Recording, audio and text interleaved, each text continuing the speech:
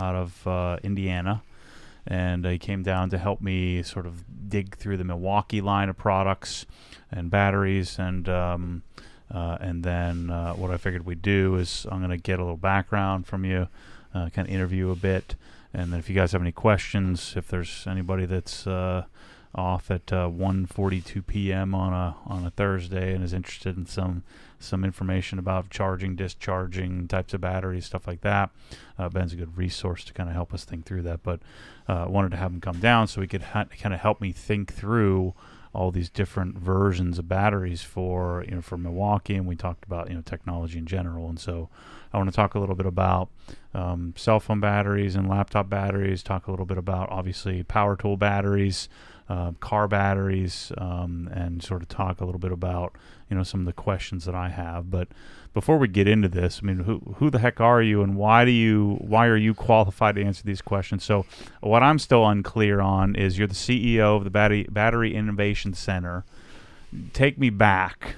Let's go back to like college, and then let's bring us up to speed on how that comes about. It's a public profit, non-profit, or whatever the heck you call it. And so help me understand this, help understand you, uh, and then we'll start to dig into batteries. Well, uh, yeah, just for for backstory personally. So um, I'm actually an electrical engineer, bachelor's uh, electrical engineering at Purdue. Um, frankly, uh, what got me into electrical engineering, uh, uh, for folks who knew me at the time, um, you know, my my um, girlfriend at the time and now wife would say, um, actually, I was actually considering the military, frankly uh, and or culinary school. Kind of weird from where I am today. Um, but um, as part of that, um, in high school, I actually started working with an electrician, and um, it was just something I enjoyed. It was it was great to get my hands dirty. Uh, you know, as somebody who has you know ADHD uh, and and hyperactivity, and uh, and also OCD as well. Um, you know, I'm all my brain is always spinning, so that that hands on. You know, I did a lot of other. You know, growing up in the you know, middle of uh, you know nowhere, Indiana, uh, great little town called Lapel, which has gotten a lot bigger since I left. You know, it was a way for me to again get out and tinker and learn and just um, you know, my mom always told me I like to go over to people's houses and take their sweepers and their couches apart. Uh, I was just I was always intrigued by things. So um, got into um, as an electrician working with uh, a group there called Humphrey Electric, who's still been a long-standing friend uh, and a mentor.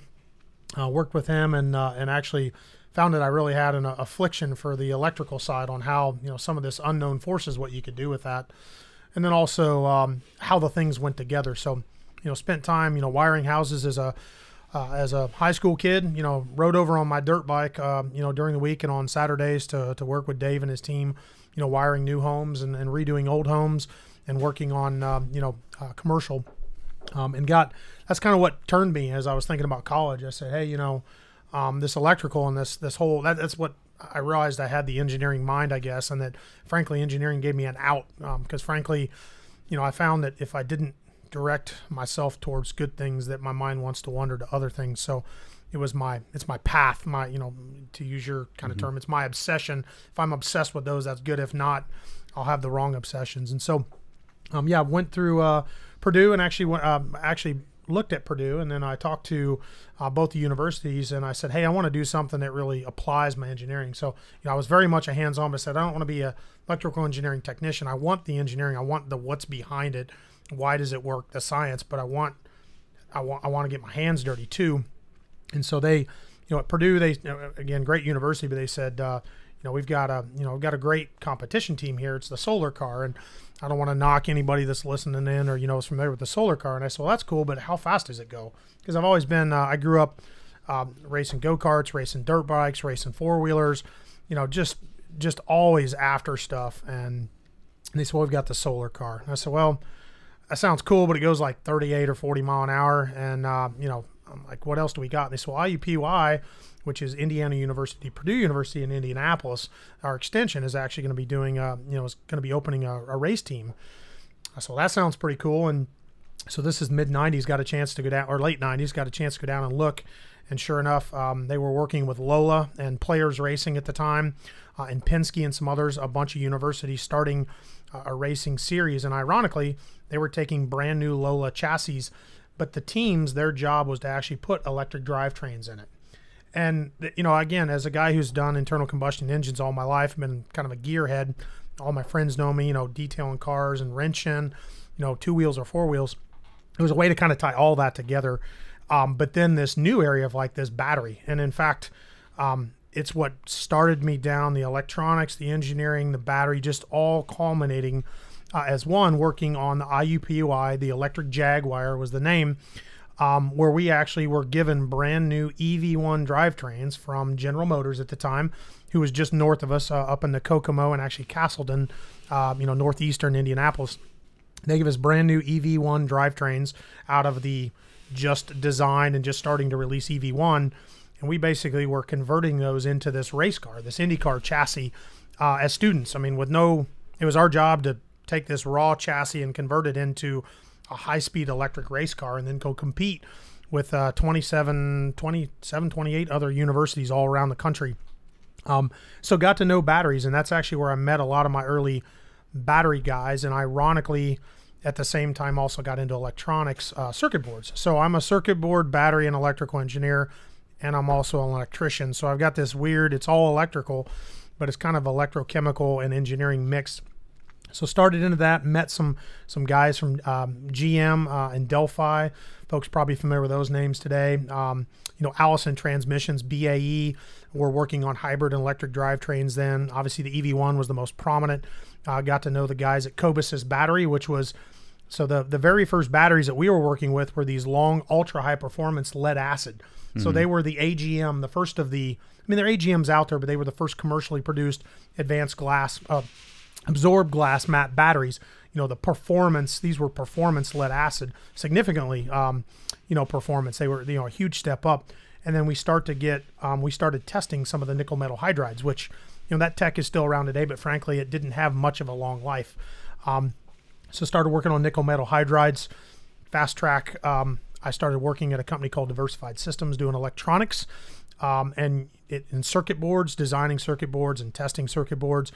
But it took me back, ironically, back to other things. Everything that had electronics in it, as we know today, everybody wants more and more stuff portable. And the way you do that, you got to have batteries.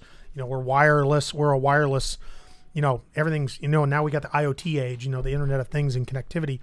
So circuit boards wound up leading me back into batteries ironically those years working there doing advanced power controllers digital controllers and all that wound up back into these advanced medical devices flexible wearables cell phones drones laptops portables tools and then electric cars again so i, I wound up there moving on to uh, a, a, lithium battery company in indianapolis and uh, and worked with them on uh, help uh, pretty pretty awesome opportunity. It was a spin-off of Delphi and a, another company called Ener1.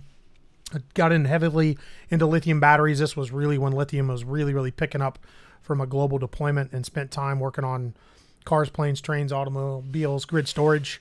Uh, and that loops back to, um, so left there um, in actually late 14 on a mission for the Battery Innovation Center. So the um, I was called in uh, by some friends that helped start that uh, work. So Indiana has always had a battery history. We've had what we call a battery bloodline.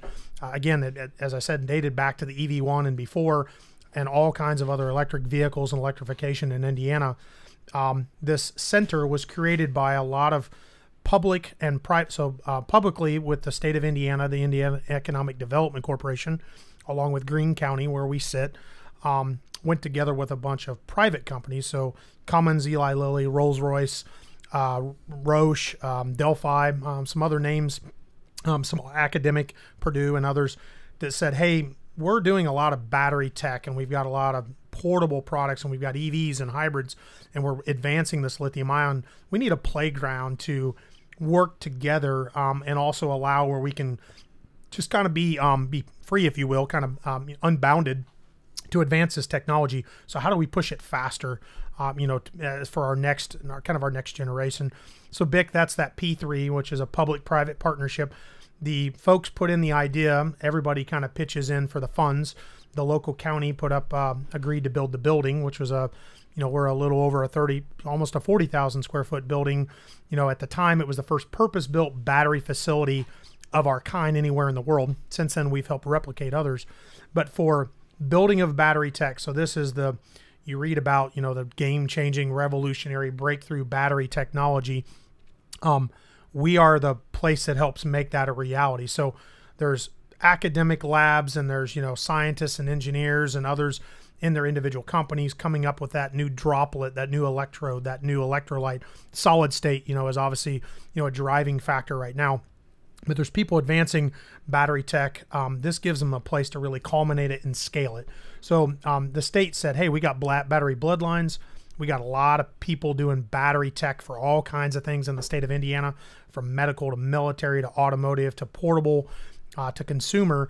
We need a place for everybody to work together." And so that's where we started in, in, in 14 um, with a heavy focus. We sit right outside of uh, Crane Naval Surface Warfare Center. It's just a little odd adage, but uh, Crane is the third largest naval base in the world. For anybody who knows anything about Indiana, you won't find an ocean. You know, here in Florida, we got some oceans around. Um, third largest naval base in the world, the only landlocked naval base in the world, ironically.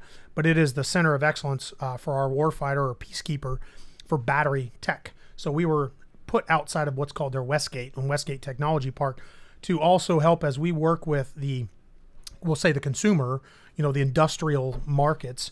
Um, the military is also looking at how, you know, at the time was looking at how do they use some of that technology um, to help our warfighter and peacekeeper um, stay ahead. So that's where we started under the direction of Captain Chuck Lasoda. Uh, unfortunately, not long after the building was opened, um, we lost uh, Chuck to late stage pancreatic cancer, uh, a, a, late diagnosis, uh, a fantastic start. Um, but uh, myself and a, a friend came in, and that's that's kind of how it came about. Is uh, that's my first time ever working in a not for profit. Kind of unique to learn that realm. I've I've done all kinds of small businesses, been involved. I'm still today involved in all kinds of crazy stuff with batteries and competition and racing and uh, detailing and cars and and mechanicals. But that was my first foray into not for profit. So today, we've kind of pivoted in that 2015. We pivoted away from having commercial work where we have a heavy help to the military to today entirely commercialized. So we work with 300 plus companies all over the world, names you know well. Um, you know the Facebooks, the Amazons, the Cummins, the the Rolls Royces, the the General Motors, the BMWs, Mercedes, uh, to help them in revolutionizing their battery tech, testing and making their battery technology safe and their systems safe, and then actually training and outreach. So that's part of the reason for reaching out to you, Matt. Is you know you mentioned during you said, hey, I want to I want to get to know more about batteries, and we say, hey, when we hear people say that, we want to say we want to help you understand batteries so they don't seem so uh, taboo or uh, frankly some people think they're unsafe nowadays. You know, you read about the you know the lithium fires and others, and people get freaked out. Um, helping people understand that it's tremendous technology. It's got tremendous capability. It's emerging very, very fast um, and that there's a, it's bringing great promise. You know, as you can see with the Milwaukee line, as a guy who is an electrician, every tool I had when I started in the 90s, we had a couple portable power tools. They were NICAD, they sucked. Mm-hmm. I mean, mm-hmm. they were maybe good enough to drill some light holes, put in a few finish screws. But today, the job site, I mean, Humphrey will tell you, I mean, they're fully converted over. In fact, they're, they love Milwaukee's, but um, I helped them, you know, work with them on that. But they've nearly converted their you know their job site over this many years later to to all portable. So it's that's kind of my kind of my story of how I kind of got around to this whole thing. And on the side, I'm I'm a crazy gearhead too, so I love cars, love anything that goes fast. If it's got batteries in it or hybrid, that's cool for me too. So, so did did the innovation center did this place come into existence in 2014 or was it already did it already exist? It was um there was some talks through the 11 and 12 time frame it was uh was built and designed and collaborated on in 13 but we opened our doors in uh, in 2014 so you're the you're the ceo did you come in as ceo or did you come in as an employee? Actually so I, I, came out of EnerDel as an executive of previous we were a lithium battery company that still exists in indiana uh, producing uh, you know batteries for electric vehicles and grid uh, myself and actually one of the other executives, uh, David Roberts, um, actually came in together. So he came in as CEO. I came in as uh, C- COO, C- CTO. Um, not long, so we helped kind of re-get the center going. So it, as I said, it kind of started up with a quasi-military spend. We said, hey, um, with unfortunately with the loss of uh, Captain Lasoda, we said we think there's a great need as as commercial battery guys, we said there's a there's a need for this uh, commercially, and we think there's more customers. Frankly, it's sustainable versus I don't want to say not counting on the government, but counting on you know DoD contracts. We said why not go commercial, and so Dave and I um, you know kicked that off with a tremendous team we got at the BIC. I mean, frankly, the best battery experts that exist anywhere in the world. I'll put them up against anybody that's out there. Um, we uh, we pivoted commercially, Dave and I, and uh, a little while into it, David actually transitioned. He's with the state now, so he's actually the chief innovation officer for the state of Indiana for the Indiana Economic Development Corporation. So he's helping leading all new tech that gets developed in Indiana, attracting companies to Indiana, pushing tech, and then I took over uh, during his departure. Um, I took over as the the CEO at BIC. So. so, do you guys make anything? We do. Um, we just don't make our own stuff. So we're we're um, you know folks are probably familiar with the term contract manufacturer. Mm-hmm. Uh, we contract manufacture uh, other people's stuff. So they usually bring us the it's the old uh, Porky Pig skit. You know the talent the talent agent where the fox kept coming in telling him he's got this great talent, and then he finally says, "Fine, fine, fine, buddy, show me your talent." And then he says, "Well, I, he says that's the best." He blows himself up. He says, "Best talent I've ever seen." He goes, "You're hired." And he's like, "Well, I can only do it once." And and that's really where we come into play as the companies come into us. Mm-hmm. They've come up with something, but they've frankly they've only been able to do it once, and they're not sure how to replicate it. How do I make number two, number three, number ten million? So our job is to help them scale that tech. So we will, under a statement of work, take what they've done or what they think they've done or what they can do, and we help them scale that and commercialize that.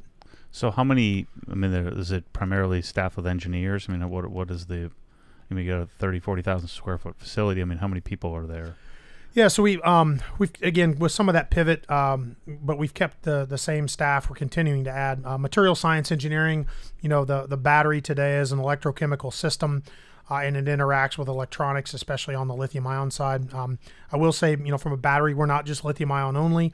You know, with the 14 fundamental battery chemistry that exists today, everything from historical lead acid, NiCad, nickel metal hydride, alkaline, sodium, flow batteries. There's all kinds of different battery tech emerging in other industries.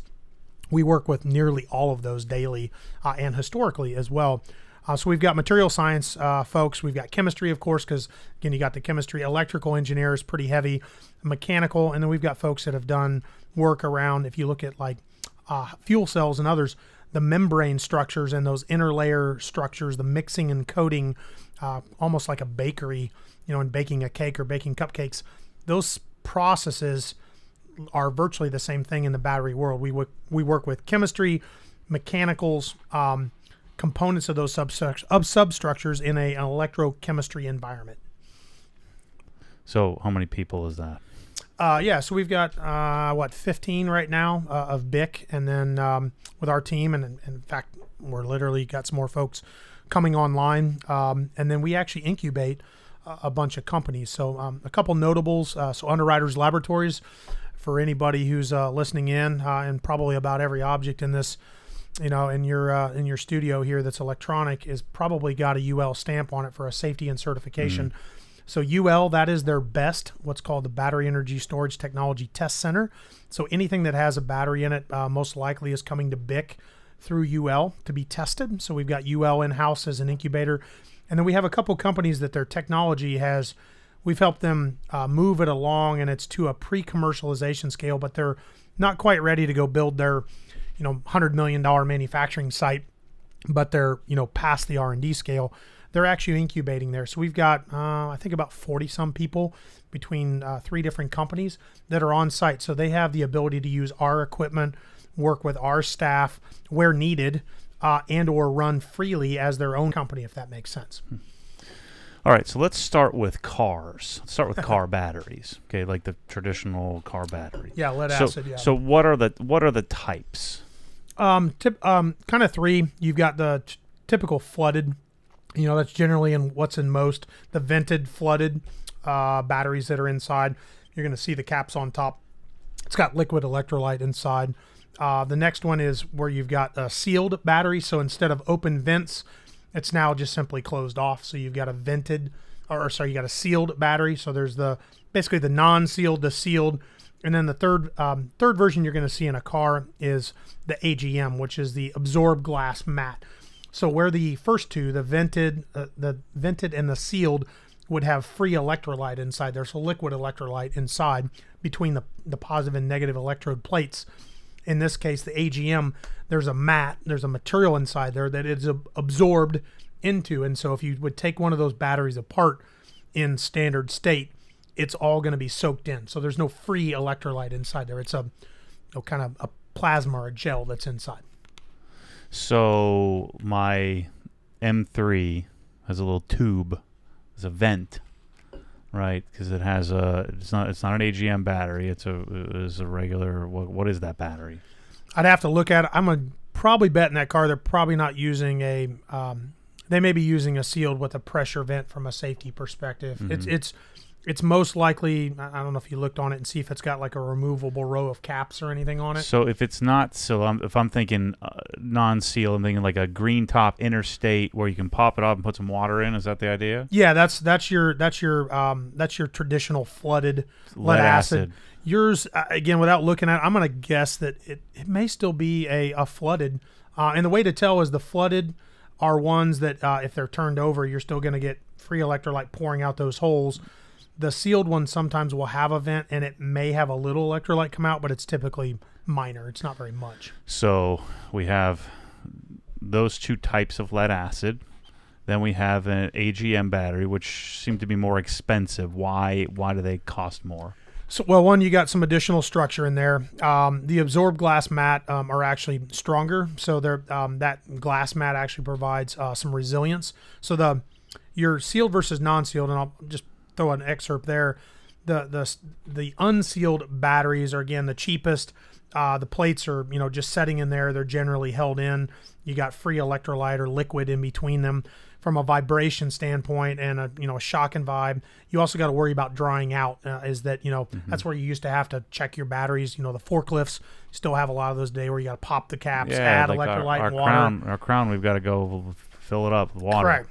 Yeah, yeah. So you've got to you've got to constantly top off that electrolyte solution uh, and keep the uh, you know the pH proper to get your interaction. If it dries out, the battery goes bad. The sealed are are basically maintenance free. That's you know that's the term they use, but it's it's supposed to be maintenance free. They still can dry out, um, but they're a better battery. It was to avoid that that um, water work, if you will, um, you know that you got to do. The AGM, the idea was to take that one more level. That's the most advanced. Again, you get into shock and vibration, high rel environments. Uh, you get into longer life uh, because it's much more controlled and tight, um, much more tolerance built. Uh, it's like the ultimate maintenance free. I mean, a, frankly, AGM from a lead acid perspective is the most robust lead acid you can get. And so then you have, you know, Braille and some of these other race t- type batteries. I just bought an anti gravity lithium ion battery. Yep. What would be a, you know, one of the things I was concerned about is that I'm going to take the traditional lead acid battery that I have, likely sealed, uh, and out of my M3, for example, and I'm going to put this anti gravity lithium ion. You know, wh- what what disadvantage do I have in doing that? Probably the biggest one is cost. I mean, obviously, uh, I'm sure when you look at bucks for the battery versus two hundred bucks or one hundred fifty bucks. Yeah, I mean, uh, you know, a cheap lead acid, you know, you get a hundred, and if you get a high end, you know, some of the best that are made, maybe something, yeah. two hundred bucks. Yeah, yep. Um, yeah, the biggest thing is going to be cost. Um, frankly, the other one is just, um, you know, kind of how you care for that battery. You know, if you short a lead acid out, um, there's obviously things that can happen. You know, they can boil over, they can overheat. You know, obviously.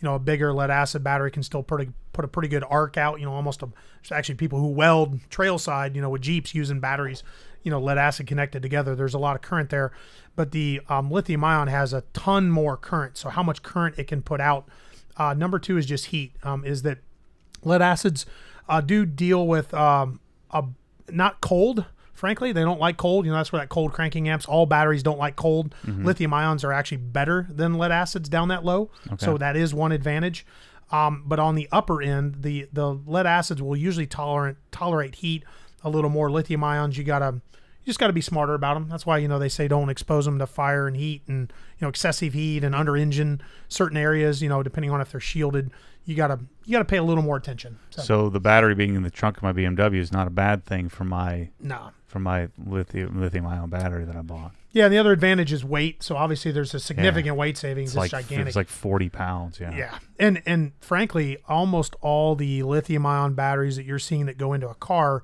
So there's a lot of different lithium-ion chemistries, and you'll hear you know emerging ones. Uh, I wouldn't say routinely, but they're coming out still. Um, you know, solid state and others that are being listed. Um, but the ones that you're seeing in most of the car replacements, because they're such a huge improvement, but they still maintain a huge safety margin, is they're using lithium iron phosphate, uh, which is known as LFP, Larry Frank Paul, lithium iron phosphate, uh, which ironically is one of the heaviest lithium ion chemistries. I mean, because it's the iron that's in there. It's it's one of the heaviest. It's one of the uh, least power dense, but from a comparison to lead acid, you know, you're talking three times, three to four times the density or more. You're talking, you know, 40, 50, 60% in some cases, you know, um, you know, it's always at least a third the weight or, or less. Um, you get a much more stringent uh, voltage curve. So when you, you know, you hit big discharges, you know, which is starter, you know, most of the time in a car, starter or sustained grinding or sustained starting, sorry, grinding, um, you know, sustained starting, or if you've got, you know, demands like boats or deep cycles where you're going to be, you know, doing car audio and others, um, uh, instead of using current, which is what a lead acid battery makes up with it, it lags when it gets hit with draw, you know, an amperage draw. Instead of making it up with voltage and sustaining the voltage, it uses current. Where a, a lithium ion, you're going to maintain that higher voltage, so you, you get more performance, less heat, uh, and a better overall life. Explain to me uh, traditional versus deep cycle. What's the difference, briefly? Uh, yeah, so uh, deep cycle is just intended. Uh, a traditional lead acid battery likes to operate at like the 80 to 80 to 100 percent. It wants to stay pretty much top of charge. The more you and and frankly, the more and some of them won't even survive a 50 percent discharge. So that means if I take it down to 50 percent level, some of them won't recover or they have irrecoverable damage to the battery. A deep cycle is made to actually it, it's made to routinely cycle under 50%. So you do give up some high-end performance, but you get the ability to deep cycle it routinely without killing off the battery life. And what is the makeup difference w- w- internally? What's different about it? Uh, typically, uh, thicker plates, thicker coating. Um, again, more robust structure. So the electrode structures inside are thicker. The coatings inside are thicker. Uh, because I, I again I got to hold up and not break down when I get down to that low uh, discharge. Got it. So let's transition to talk a little bit about you know the batteries we've been working on, which are you know power tool batteries, uh, and what what what they're made up of. Also, I guess we talked about this in some of our videos. They would also involve batteries used in cars like Tesla and you know the Taycan and some of the other you know the other electrical vehicles. So what is that? And, and another you know guy had a question here asking about you know what do you what do you think what do you think the difference in performance between an 18650 and a 21700 cell battery is? So first explain to me an 18650. Explain to me what's in like a Milwaukee or DeWalt or Makita battery, uh, and then tell me a little bit about the newer you know 21700s and the performance difference. Sure. So the um, you know the the the most common lithium ion battery that everybody's still going to run into, but it's quickly being replaced. Uh, kind of the standard that's known is a it's a cylindrical format, and that cylindrical format is called an 18650. Some have shortened it and called 1865, but um, it's an 18650, which is 18 millimeters in diameter by 65 millimeters in length. Uh, for folks who haven't seen them, it looks like a it looks like a pregnant alkaline, you know, double A battery. It's or, like a Duracell, but a little fatter. yeah, yeah. Um, so that is the gold, you know, kind of the known standard and has been around uh, for forever. It's the only standard format at its time that you could go mass, you could mass buy. So, you know, there's a lot of other lithium ion formats, but it's the only one that everybody has kind of surrounded. You see it in e-cigarettes. It's used in power tools. It was used in laptops for a while until they've gotten you know ultra thin. Uh, you know Tesla used it. Um, you know, know Elon uh, got to give him credit for being brilliant. Instead of trying to do like other electric car companies and also design and engineer his own custom cell. He said, "You know what? I'm just going to buy something and get off the shelf and let me focus on the car and integrating versus taking on, frankly, an even bigger engineering challenge than building a new car company. So you know, kind of a brilliant decision there. So the 18650 has been the gold standard, and it is in you know even in the Milwaukee line, it's still what makes up majority of their tools. Um, fast forward, uh, you know Tesla and Panasonic, along with uh, you know they're the most prominent, but there are uh, several companies that were already saying, hey, the 18650, that cylinder format. The biggest issue with that is um, as you get into high power drain, even though we've evolved the, the chemistry that's inside of it and the makeup as best as possible, there were some key limitations with thermal. So the inside of that cell, if you look at it, um, I should have brought one in here, but the jelly roll, and you can check out some of the other videos we've done. We mm. show that jelly roll. It looks like a Hostess Ho Ho roll, and look inside the cake and the icing that's all wound up. The center of that thing is the hottest. Uh, and so it, it, once that gets hot, getting that out of there, you know, it, is almost impossible. There's no surface area around it. It has to radiate out. And so they recognize that in higher power needs, higher drain, higher performance, you know, um, that we're running into heat problems. And so they went back to the drawing board to say, we still want a cylinder and we still want as closely compatible with our designs. They said, we don't want to throw the whole cylindrical cell out and start all over with some new format. How do we grow it just enough to optimize it to maximize our capability without getting too big. And, and frankly, they wanted it just like you see on the Milwaukee tool. You can notice when they're side by side, they've grown a little bit, but the new battery is not twice in size. It's it's you know maybe 20% larger, mm, maybe. Yeah. Um, so the 21700, which is now 21 millimeters, so I grew from 18 to 21, and instead of 65, I'm now 70 millimeters in length. Um, I increased that size marginally, but we increased the overall capability of that cell. The very first ones coming out were about a 30% increase in overall uh, uh, power output. So my ability to do work, both density and so the voltage stayed the same, but as far as density to be able to do work and how much work I can do there as well. So power and energy.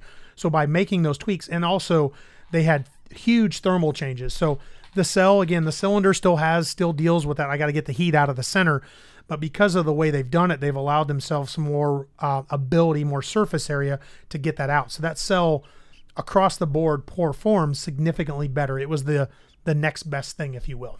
Okay, and so then um, you know you picture a, a fatter Duracell, right? The, but but it's not. There's no. Um, there's liquid in there, but it's like a little. Like, it's absorbed, yeah. Little, it's, it's, like a ho ho, like it's a, you know, it's a it's a spiral, if you will uh, with gel inside of there, like an electrolyte gel yep. of some sort.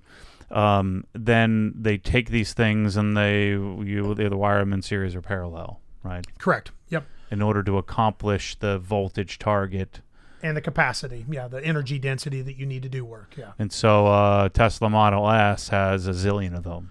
Yeah, it, uh, depending on you know uh, which series, and obviously the older cars, you know, as they've worked up and had now the, the 100 but you know you had the 60 and the what 70 and 80 and 90 you know they had different variants of mm-hmm. battery mm-hmm. there was basically thousands to more thousands so i believe the anywhere 6700 i should know this exactly but i can't memorize all the cars now it seems about six to almost 9000 of the 18650s uh, and they still produce with the 18650 today but the new model cars so the um, uh, the model uh, the model 3 was one of the first to start coming out with the 21700. So they have high quantity of those cells, but they're able to have a little less now because of the better capability of that 21700. And they're new. The Model Y is all built on the now evolving 21700 platform. So I don't think you'll see 18650s go away because they're in so many historical products. Mm-hmm. Um, they're kind of the double A, but now it's kind of like the Alkaline. Now you had double A, and now at double A back in the day wasn't enough, and so they created you know the C cell, and then they went to D cell. So very similar thing as you're seeing that, that same evolution from a, a, lithium perspective on the cylindricals. So what is the difference between a you know a lithium ion at 18650 and a traditional double A battery? What what's the chemistry difference? How what's inside of them? That if I were to cut it in half, what does it look like? the the basic makeup is there. I mean, they've all got um, you know a positive and negative electrode. They've got a separator, the material that's inside of them, um, but it's uh, it's what the anodes and cathodes are made of, which are you know a mix a mix of different types of metals, and then you have some other organic and inorganic uh, electrochemistries inside of there. So. Um, you know the tradition, uh, you know, alkaline batteries, you know, were made with, you know, you got uh, you got aluminums in there, uh, you've got um, you know different mix of acids, uh, and again some other different. Uh, they had zinc air and some others that are in there. Uh, the new lithium ion again. There's you say lithium ion, but that's kind of the general term. Lithium ion or lithium polymer. I always hate when people try to say, well, lithium polymers are different. No, it's that that means it's a rechargeable. Lithium ion, lithium polymer are the same thing, and then you have lithium metal batteries. So if you look, the newest energizers, if uh, you know if you've got any products where you use alkaline, and now folks say, hey, you should use the lithium variant. Um, you know, Energizer, for example, has got the, their lithium. That is a lithium metal cell. It's a primary, what we call primary. It's non-rechargeable. So it's put in. It actually has lithium metal inside of it, mm-hmm. uh, a significant quantity. Well, I say significant. It's much larger quantity than the polymer that's in the rechargeables. Um, that lithium metal gives me a one-time use. Um, you know, ultra high power, ultra high energy density, but it's non-recoverable. So once uh, once it is used up, it's done. So, w- from a layperson, is it safe to say that a you know a lithium ion type battery is acid free? Uh, yeah. I mean, uh, I guess in a traditional sense, yeah. I mean, you know, with the breakdown of structures, it can release, you know, HF and others if you have fires and you know other things that can happen with lithium. You can, you know, cause uh, reactions that will bring, you know, other materials about. But um, yeah, it is it is quote unquote acid free. So since we're talking about this, um, tell me a little bit about you know this is the huge buzzword in detailing, and four people have asked this already. Uh, what have you seen with graphene and and batteries? You know, it, it's funny. Um, I, so as a again as a battery guy, and then also being a detail guy, owning a you know a detail company on the side for the longest time, um, it's funny for me to watch how like industries wind up going into other industries. So graphene uh, and the uh, nanocarbon, gra- um, um, um, sorry, um, graphite nanotubes, uh, carbon nanotubes, uh, heat graph, uh, graphite helix structures are have already actually evolved lead acid batteries today. In fact, they're taking current lead acid batteries and they're getting significant life improvement. You know, the you know everybody says, well, lead acids haven't evolved. Well, frankly, the lead acid guys have said, hey, you know, um, lithium ion isn't the solution to everything. And frankly, low cost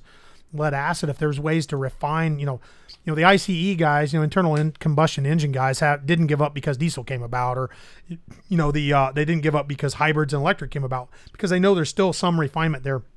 The lead acid guys started using carbon nanotube structures to make the lead acids last longer that they replaced some of the coatings or they basically dosed, you know, they, sprinkled some of that in there, if you will, a little more scientific than that, but to make those batteries last longer, to be more robust, uh, to be more electrically conductive, uh, and to be you know safer overall.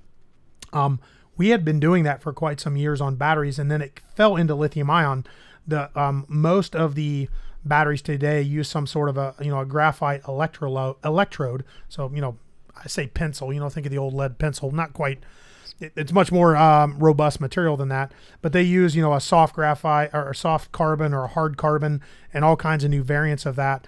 Um, so that carbon structure, in order to create bonding and create electrical characteristics, uh, so kind of primer characteristics, if you will, is exactly why you started to see it being used in paint and coatings and now going into ceramic coatings. It actually has some significant characteristics that are it's being refined. In fact, um, uh, my internal, a couple of my uh, my one material scientist, Dr. Fleetwood, him and I have been discussing, frankly, some of the discoveries we've done on the battery side. We said these would be directly relevant uh, to the ceramic coatings. We're actually we've been kind of talking on the side about can we take some of the tech we've been working on for others and maybe help them uh, make an introduction to you know the the Gtechniqs and others of the world to say, hey, we might actually have some some nanostructures that will be drop in for what you're doing on the coating side. That primer, the ability to create a better coating that you know the um, you know the traditional um, silicon can't do. Mm-hmm.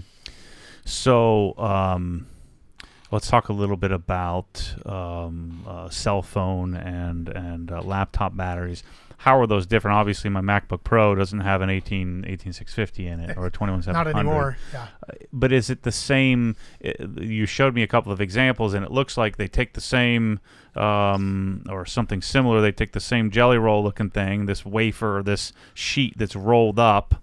Uh, and just take it and stack it on top of one another. Is that essentially how they how they do the same? They do this in a in a, and then they put it in some sort of plastic or metal case of some sort. Yeah, um, um, they're actually um, both batteries come down the same process. So, and, and I'll, I'll make a, a real quick kind of overall explanation of the process. We have a mixing process. So think of mixing up any other batter, or in this case, it's it looks like paint or any other coating. You know, we are mixing the um, mixing the chemicals, a powder, and our solvents, which become our, our glue or in our binders, they become our electrochemical materials. We mix those up. Uh, we work on the viscosities, and then we coat those down uh, onto the electrode structures, which are thin film substrates. Uh, you know, layman's terms, copper and aluminum foil today.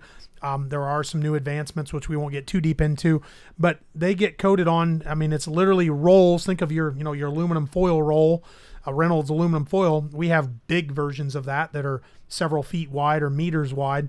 We actually run those through a machine that then this batter goes into, and it's either pooled onto, so like a puddle, but a controlled puddle, and or it's sprayed, uh, and or it's got other uh, coating thin knife methods. It's the old high definition tape days. Um, Sony, when they quit making high definition tapes, they took thin plastic and they put magnetic films. They took magnetic liquid and coated it real thin on those. When no one was buying tapes anymore, we all went digital, of course. Um, they said, "What do we do with all this equipment?" And Sony actually came up with thin film coating, so those thin film deposits. So we actually coat them down on these long rolls of film, and then from there they go into any of the battery structures. So in a cylinder, we cut really long strips out of them when we roll them up. Mm-hmm. That's the cylindrical format. In a pouch cell format, we cut literally like cheese slices out of it, and this is where there is no standard. You know, there's every dimension on the planet. And what they do is they stack those up in layers. So you will stack those up for your voltage and your capacity. It looks like a Dagwood sandwich. Hopefully everybody knows that analogy or a you know big deli or club sandwich. It's all kinds of electrode layers stacked up uh, with separators in between every one, and then we fill it with electrolyte. It goes into I always uh, people hate this analogy who produce the pouches that it goes into, but think of the Capri Sun pouch. Mm-hmm. It's literally an aluminized, uh, it's aluminized material, and then it's got a poly coating on it we put the electrodes inside of there, and the liquid that's in your Capri Sun pouch becomes the electrolyte. Mm. Uh, and then we put tabs coming out of it. That's how I attach to the positive and negative. The third format, which we didn't cover, but that's your cell phone, is actually called a prismatic, and so it's actually it's a blend of the two. Instead of flat stack sheets, you know, kind of sheets of paper all together, or a, a continuous roll, this is a flat roll. So what's in your cell phone is where we, you know, think of that rolling mechanism in a cylinder. Now I fold it over like a towel. So I I take those long strips and I fold it over and over again. That's what's inside of your cell phone. Most, almost all of them, when you look inside, they put it in a, a hard plastic overhead case or a, mm-hmm. a metal case, and it's uh, it's a it's basically a flattened out cylinder, mm-hmm. if you will. So let's talk a little bit about charging, discharging.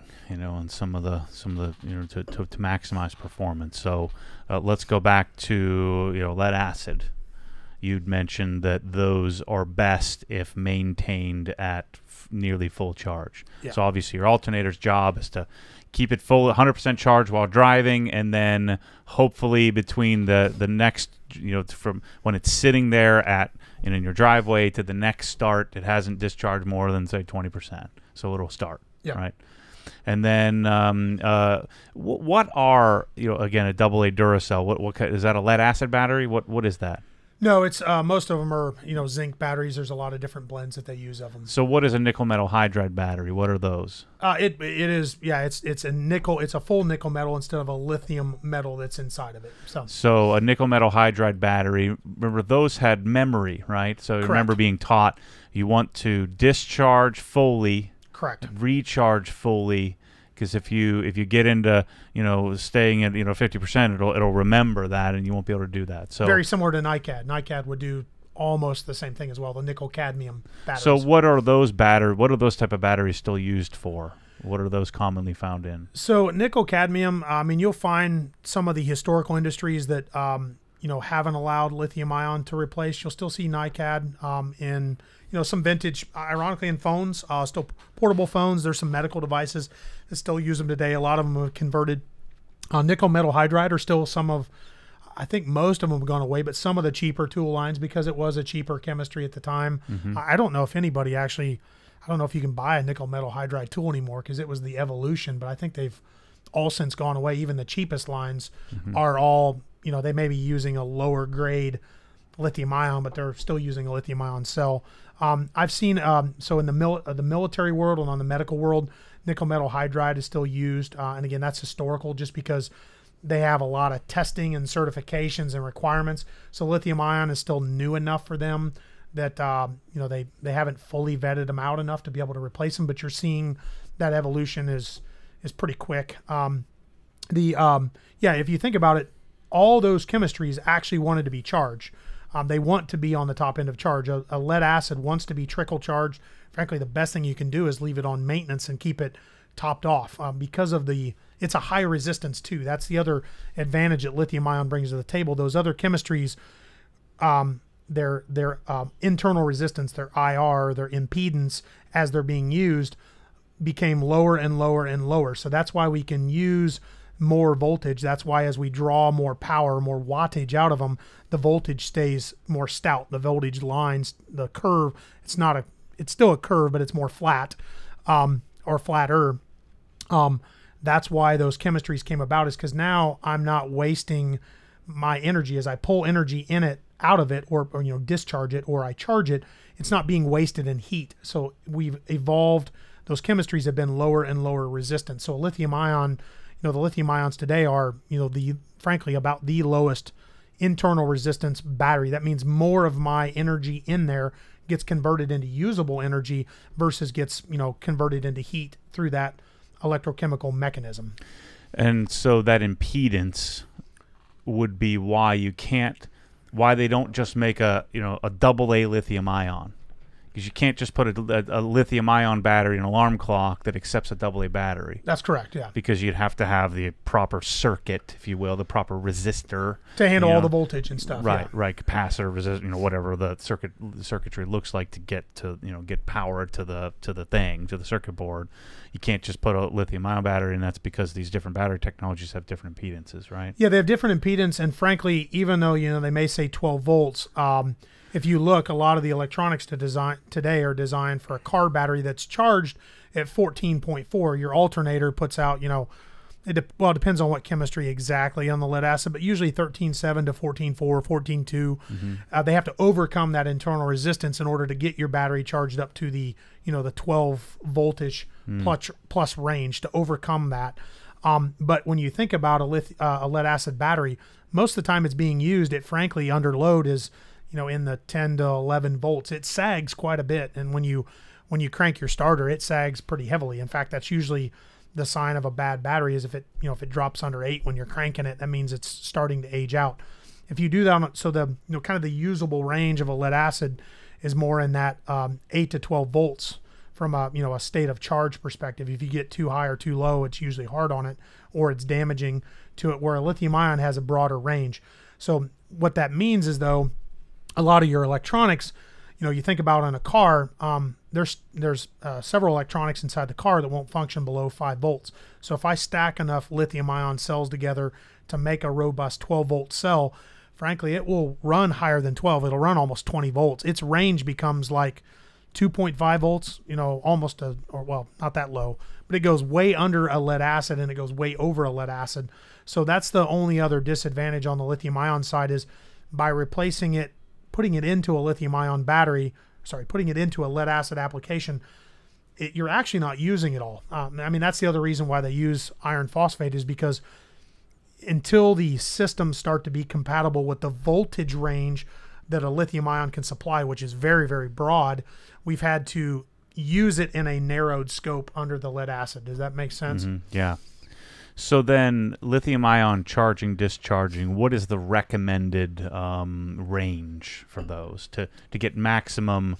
Um, you know, because we talked about this in many of the videos. Heat is the enemy. Heat is what wears out or beats up the battery, right? And as a safety risk at sometimes, yeah. And then and then but but what is the what is the, the recommended range in order to get maximum durability out of a, out of a lithium ion battery and get maximum useful charge or useful um, discharge, I guess, in the future? Yeah, I mean, um, it, it, really is application uh, dependent. Um, and, you know, what do you plan to do? How are you trying to maximize the life? I mean, we would always say, you know, the ideal scenario is you know, is slow is, you know, a, a, what we call a half C or a 1C rate. and for folks that are like, what what the heck is that? Uh, that's capacity. So half of capacity rate or or a one or equivalent to capacity rate. So if we had a three amp hour battery, we would say an ideal, generally an ideal charge range, maybe like one and a half amps would be its maximum charge, up to three amps. So that would be again a half a 0.5 C as in capacity, not to be confused with current or some other you know uh, other thing. So 0.5 C or 1 C is pretty, you know, on about any lithium ion battery is an ideal. But if you look, most of the fast chargers today are going, you know, 1C to 2C to 3C. Um, you know, superchargers and others, you're talking 5C and 10C capacity rates. So if you think about a, a, a, you know 100 amp hour battery pack, now I'm putting at 3C, I'm putting 300 amps maximum current into that. Um, the battery will take that, and that's the advantage of a lithium ion today is there's such a broad range of charging that I can do to it. But in general, the harder I charge it, the more susceptible it is to heat. That's number one. Uh, number two is there's also starts to be some diminishing returns. At some point, I'm putting it in so fast. We used the analogy the other day of kind of a jar.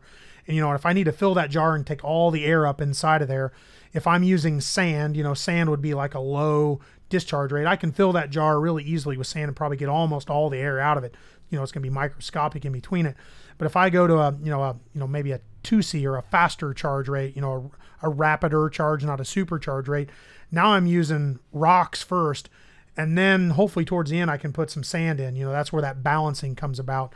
Um, you know, the supercharge, and, and again, analogy, the battery guys who are you know engineers who listen to may say it's not exactly that but it's again layman's terms is now i'm kind of putting rocks in that jar or you know boulders inside that jar i'm getting it full quick per se but i'm missing all the extras so there's a at some point you're actually diminishing returns for fast charge and like i said the the biggest worry there is heat is then i'm sub, sub, subsect, subsecting it to um, additional heat that is hard on a battery. You know, it just doesn't like the heat cycling. So, but again, usage case, you know, you think about the Tesla users. If I'm a if I'm a fleet operator or a taxi cab, you know, they don't necessarily worry about getting 300,000 miles out of their vehicles. They need it. It needs to run. I mean, they run 24 seven. So um, there are people use the fleets. They need that supercharger. They understand it lessens the life. I mean, I don't know any taxi cab, you know, where they're getting 500,000 miles of great mileage out of the car. That they, they beat the heck out of them.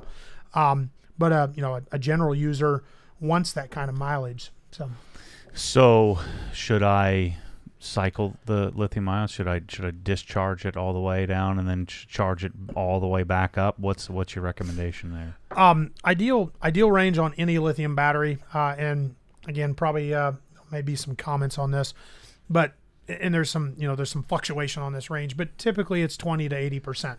You know, keeping in that 20 to 80 percent range, not over I wouldn't say over discharging, but keeping it out of the lower discharge range, uh, which again you're lessening the performance down there anyways, and keeping it out of the upper range, which frankly ages it quicker.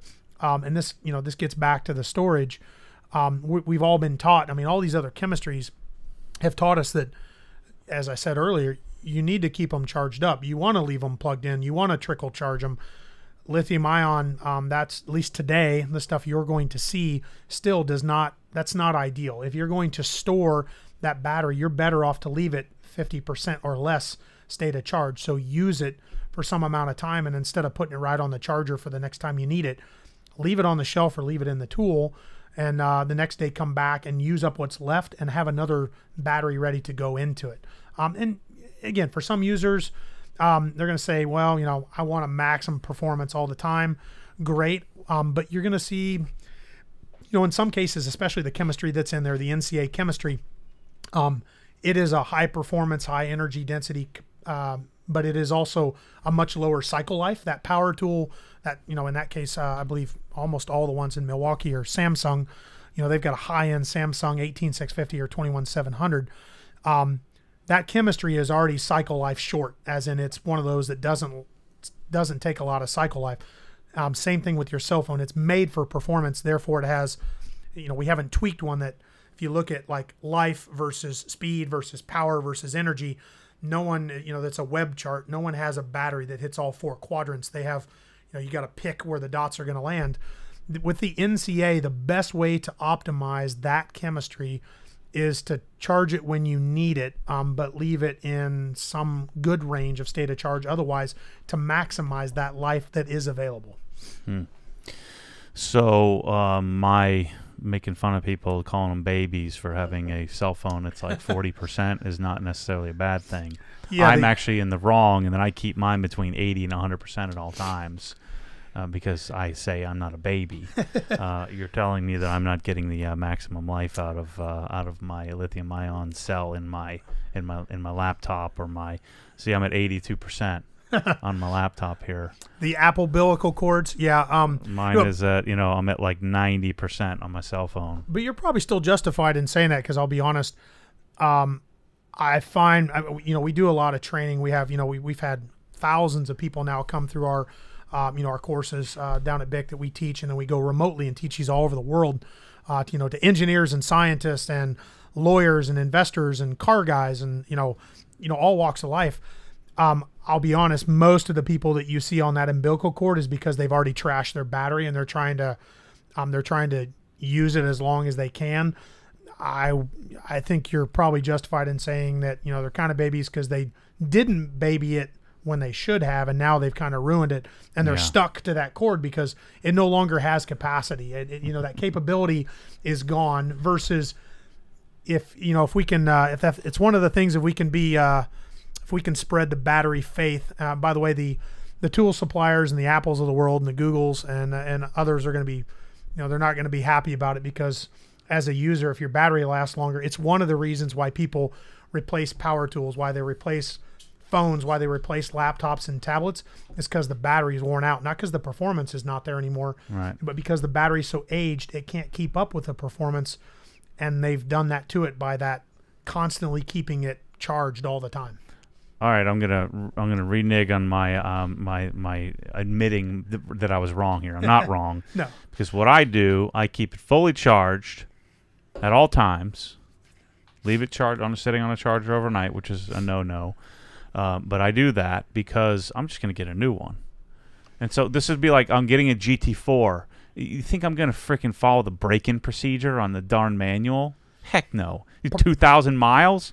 I have 2,600 miles on my GT3 RS. I I would have just gone to Redline like last month yeah, and had it for a year and a half before you ever drive the darn thing. I'm not doing that. That's stupid. use it. Yeah, I mean that's that's the biggest thing I think. As long as users understand that, we've had folks who complain about battery tech. So again, if you're one of those that hey, I want to maximize the performance, Don't be And- cheap. and Get a better frickin' job and buy a new iPhone every time it comes out. Apple will love you for that. That's right. That's yeah, what I'm doing. Yeah, yeah. There you go. No, Uh, again, it maximizes performance that way. But you, again, it's the trade-off of cycle life. So, and that's the thing that we fight is a lot of battery guys, got you know, folk, battery users, sorry, that are talking about I want battery overall battery capability. I mean, some of that is you got to be an MVP at cases. If you want that overall, you know, minimum, you know, that maximum viable across all arenas, you really need to be 20 to 80. Um, And by the way, I'm a, I do that on my cell phone and I do that on some of my items. But frankly, some of my others are like, hey, I know that that's a device that I need to use up and I need it for its maximum capability performance all the time. And I don't care about the life as much. Yeah, I mean, there's no reason you can't. So, Yeah, well, it it it goes. It makes sense that the advantage of my compulsive charging is that I always have, you know, so I never I've never walked up to a Milwaukee tool and not had a battery. it's never happened in the history of my life and never will. I'm never going to get in my car and be out of gas. It's just Yeah. not going to happen. yeah. The disadvantage, though, is I'm actually hurting the lifespan of my tools and batteries by keeping them topped off all the time. But I say, screw it. I'm doing it the way I want to do it. And Milwaukee loves you. You've bought a, almost almost every tool I think we figured out now, or virtually ever. You just buy some more batteries. So. What is a LiPo, L-I-P-O battery? I don't even know what that is. That, lit, that is a short, um, the acronym for lithium polymer. Okay. Um, that's the that's the term that kind of came about from the RC world, uh, Uh-huh. so the remote control. But it's a lithium polymer. That is a lithium ion battery. They are the same thing. That's a rechargeable battery. So it's not a lithium metal. It's not a primary non-rechargeable like an alkaline. You use it once and throw it away. Uh-huh. A lipo or a lithium ion are uh, are a hybrid rechargeable structure. Got it. Let's see. What else are we missing here? What else do people want to know? I wish battery chargers had a setting for long-term storage that doesn't charge them 100%. Actually, that's a that's a great uh, input. In fact, um, you know, even Apple, um, I, I think that it's back out now. Um, sorry, I'm going to knock Apple. I don't know if it was Apple per se. Maybe some of the folks at the App Store. Um, but originally, there was a couple of folks that developed an app that if you plugged it in and it sensed it was on too long, and if it was not, they used the motion sensor in the phone. Actually, I think a couple uh, app developers for Google did the same thing. That if basically it was laying on your nightstand plugged in, it would actually only go to 80% unless you overrid it. Like you could, if you set it down, had your thumb on it when you plugged it in, it would go to 100%. Otherwise, it would only charge to 80 to maximize the life and the capability of it. Um, some of the power tool folks um, are looking at that. I, I can't comment on, you know, Milwaukee or any of those, but I, I there are some other, uh, there's some, we'll just say there are some companies that have considered for these users that have got, you know, their tools in their van or on their shelf, um, if they're going to be doing storage that they have the ability to kind of walk up to the charger, put in the battery and say, I want full charge or I want storage charge. So there is a recognition that that's coming about. So So you know, someone just made a comment said he think that the he thinks that there's an iPhone software update just started implementing trickle charging for overnight chargers. Um, tell me about how the heck does a wireless charger work? How does it work when I take my phone and I stick it on this thing? How does that work? Um, so it's just using the, uh, you know, you're using the magnetic field. It is a, you know, there's there's more and more capability that's coming through it, but they use a the magnetic field um, off of that device. Um, there's a, you know, there's uh, electricity that's generated there. It's a much lower current. I mean, if you look, you know, your fast chargers that are in your wall, most of them, I mean, the weakest ones today are, you know, are half an amp, you know, at five volts, or you know, they're one amp. Actually, most of them I think run at three, three and a half, four. I've seen some five amp, you know, wall chargers. Um, when you look at the wireless chargers, they're like, you know, hundreds of milliamps. You know, they're not they're not a high um, high power wireless. The advantage is you don't have to plug them in, so you're not wearing out, you know, connectors. You're not having to have a cord. You know, for users, you can just lay it down on a desk or you know on the dash of your car. Now they're in cars. It's nice to not have um, you know the cords there. So it is a much slower rate. Frankly, um, the the only other we're seeing with some of the wireless charge um, as the technology has evolved, it's gotten better. But actually, there is a point on some of these larger batteries that are coming in the newest phones and the newest tools that if you're too slow a charge, it may not be enough to get it all the way topped off. So, you know, some would say, well, if slow charge is good, well, give me the slowest charge. I'll let my phone charge for, you know, five days before I use it. There's a there's also a diminishing return on the bottom end is that, you know, with that sand, um, what I start to get to is that sand's going in sl- so slow um, that I'm um, that I'm not actually able to fill it all the way up. So um, so there's a there's kind of a diminishing return on the slow end as well. That is right. I did notice the my iPhone giving me a notification saying that you know it's going to be charged in six hours or eight hours or something like that, and it's it's recognizing my patterns of you know plug in, I guess, which Yeah. is pretty sweet. And, that- Tesla's Tesla's done the same thing. There's actually applications for their car now um, for users that you know maybe you're going to the airport. They're going to plug it into a, a charger instead of a supercharger. They pull up to a regular Tesla charger, a, a level two, and they can program it to say, "Hey, I'm going to be gone for you know 30 days out of the country." It'll charge it up to an 80%, and then they can use a timer or the app. Um, that it, it knows when they're going to be back, or they can set a schedule, and it will finish that charge when they get there. So it leaves it in a nice storage range as well. well, does it also move itself to another parking space? That'd be kind of cool. I, I think it probably could. I don't know if they've implemented it yet, but yeah, that would be pretty sick. yeah.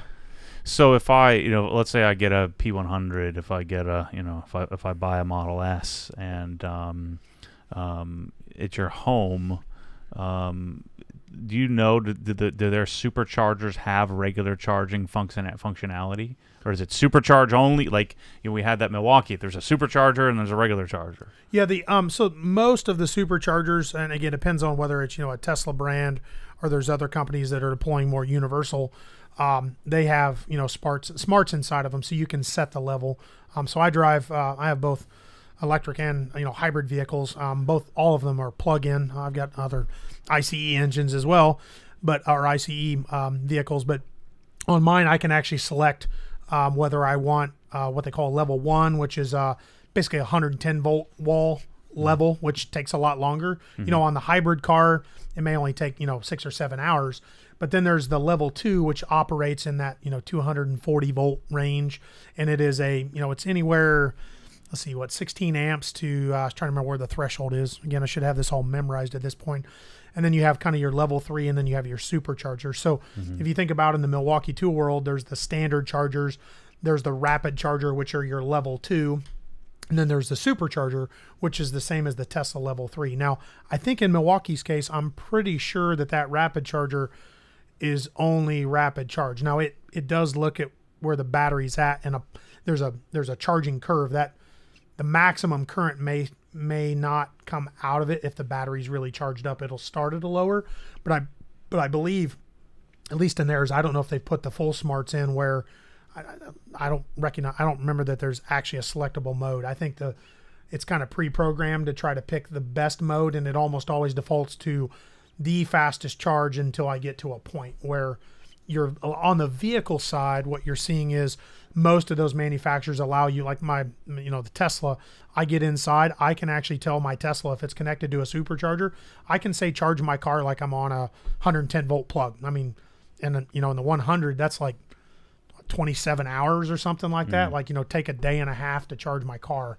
Um, that's okay. So, Um, what about you know when the green light goes on on my Milwaukee battery? Because nine times out of ten, I stick it on there, come back two days later, and I forgot it's on there. Is that bad, or is it is it shut it off? um, you know, I think, um, I don't want to comment for them. I think Milwaukee would always say, Hey, you know, at the end of charge, take it off. Cause you know, there's always a risk if you would have a, you know, electrical fault or an arc or something that, you know, the safety devices, that battery is safe to leave on there. And again, probably to, hopefully they don't, uh, they're going to recommend you different again, considering that if there's a failure of a system or failure of something they can't control. But in general, um, that battery, and, and by the way, it doesn't trickle. Um, you know, we don't, you know, the old battery chargers used to trickle, and there was a difference. You had maintenance charge, you have trickle charge. So you think about on your car, you know, a lot of guys will buy the, um, there's all kinds of the little CTEK, um, yeah, and, CTEK yeah, and Noco, uh, and- Nocos, yeah. and, and others. There's a difference between a maintainer and a trickle charger. A trickle charger never stops. Um, a maintainer actually stops on a lead acid battery, uh, and if they have a a lead a lithium ion, most of them are lithium ion compatible. If they are, because it charges the batteries up to a voltage. Uh, it does a constant current, constant voltage, all the way up to a constant voltage hold. And once it reach, reaches a constant voltage, it turns off. A trickle charge would continue to apply, you know, 12.4 or 13.2 or 14.4, constantly trickling that battery, which is actually bad on the lead acid. So you can actually, what they call boil, you boil the battery slowly by doing that. Um, lithium ion, you don't want to do that. You take it up. The manufacturers set a what they call a cutoff current. So I I do constant current into the battery as a charge. So I'm putting current in until I get to a voltage, and when I get to that voltage, which at the cell levels, you know, 4.2, when I get to 4.2, I go to a CV, what they call constant voltage hold. I hold it at 4.2 for so long until the it's full. So that's kind of like I've got my I've got my you know if I was using my rocks, I'm rocks, rocks, rocks, and at the top I go to sand. I'm like just using the sand to get that perfectly level, and then I stop. I don't pour any more on. The lithium ion says stop me when I get to a certain current. So when I reach a CV hold at a certain milliamp current, stop. Um, so that's you know that's kind of how those different chargers work. I think I'm checked out of batteries. Sorry, too much uh, too much egghead tech on a Thursday. So Yeah, I'm I'm, I'm running out of gas here. I'm, I'm, I'm getting old. we need to go drive or something. Yeah, get some fresh air. You see my head hit the desk here.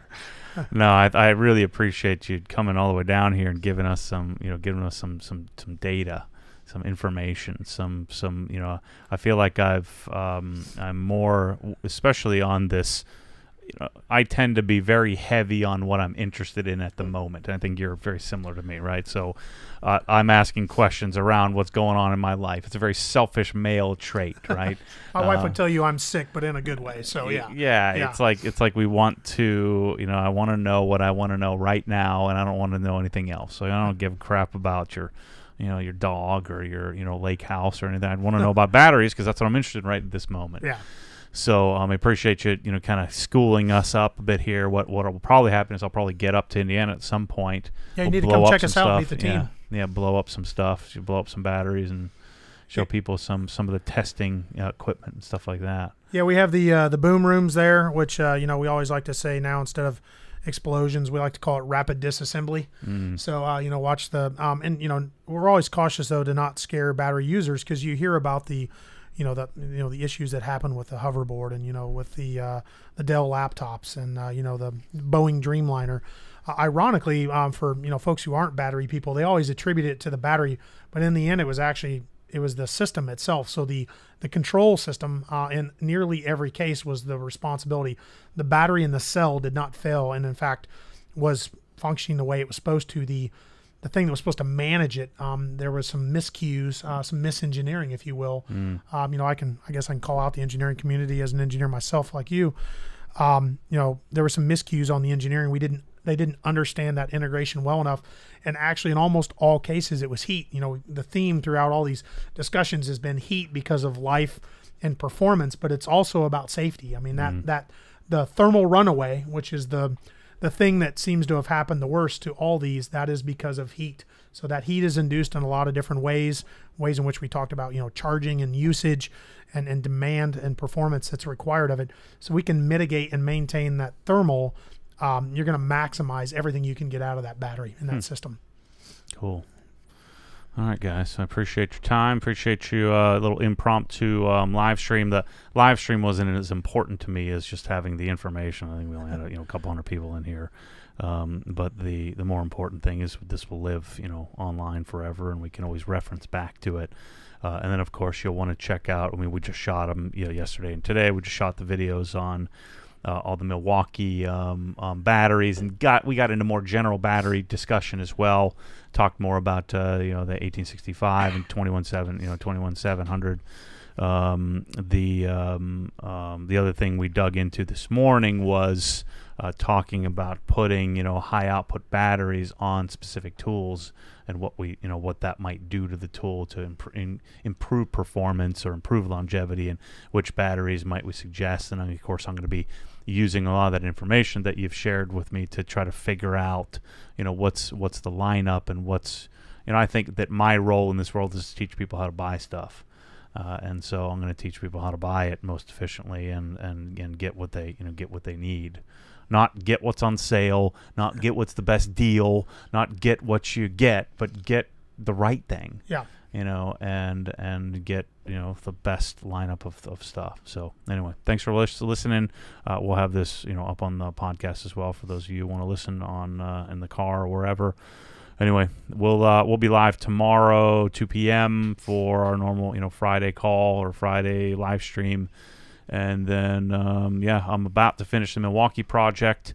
I've got uh, the GT500 coming to detail on Monday and Tuesday. Uh, the Civic uh, should be back in about a week. Uh, I got to start to put the pressure on my buddies at Sound and Motion, so that'll be back to my Moton suspension comes. Uh, we got some projects for Jeff's and Kyle, or uh, I don't know if Kyle has anything, but Jeff's and Bryce's, Bryce's car, the S550 Mustang, then the um, you know, Bryce's uh, Miata. Um, or oh no, sorry, it's a MX5. Yeah, the Miata project. We got some MX5. aero to put on that, so we got some car stuff, some detailing stuff coming. I need a break from this tool stuff. My brain hurts. Got to get back to cars. That's what I said we need to. Get, I feel like I need to go on a drive. We got a Yeah. terrible rental. Um, but Mm. We're going to get out and at least do something with it today. So. No, I need to take a nap. anyway, catch you guys soon. Thanks.